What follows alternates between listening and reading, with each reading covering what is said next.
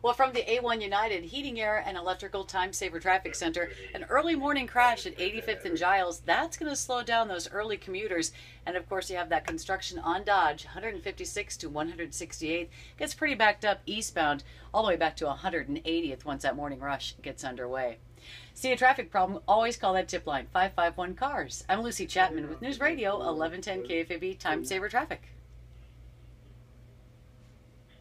I'll show you around at 1142. All cars in route